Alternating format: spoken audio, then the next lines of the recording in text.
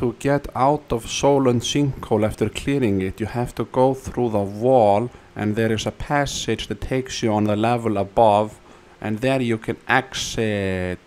exit the super Soljund's sinkhole super safe safe sa, so su so sa si so nice place and then you go up here and you can go there there's a hole you started to fall and no nice feeling have